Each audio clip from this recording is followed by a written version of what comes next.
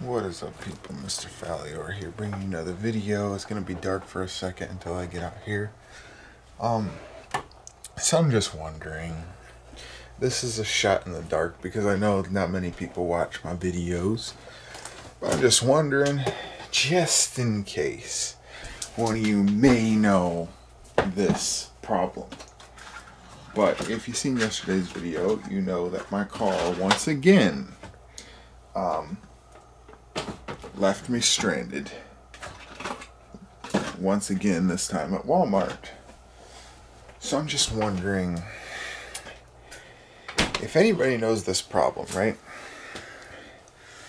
It's in it's a 2002 PT Cruiser for those of you interested. Um, that way you know like how old it is and all that. Um,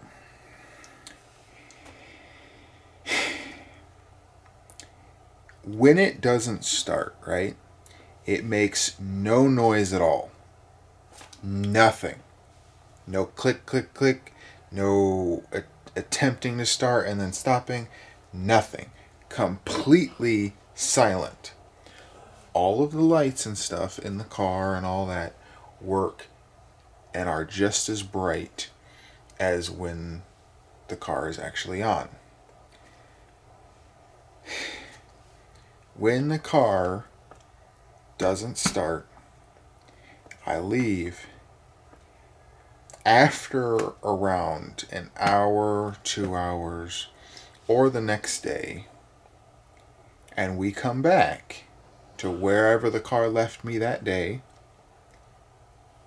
it'll start right up.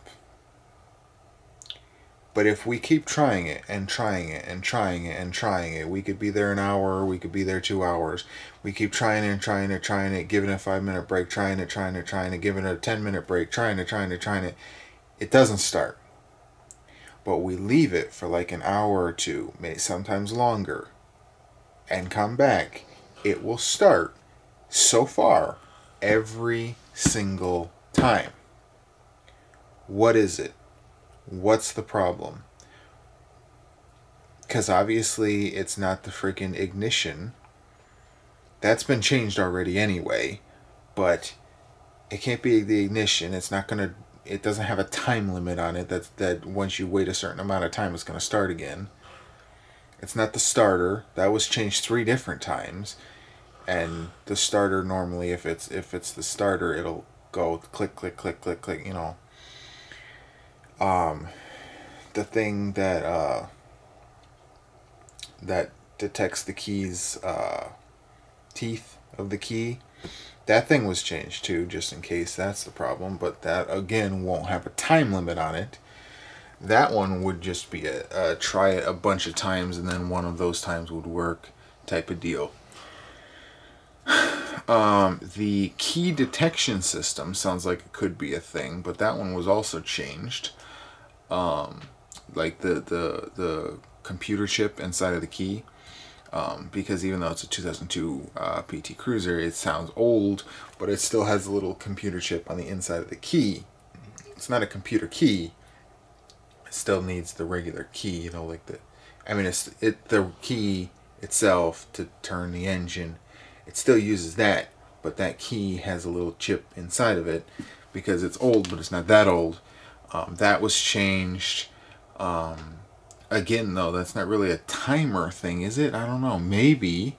Um, so I wanted to see if maybe it was a distance thing as well. So like I walk all the way to the opposite end of Walmart on the inside of Walmart, walk around there for a little bit, come back out. It doesn't still doesn't work.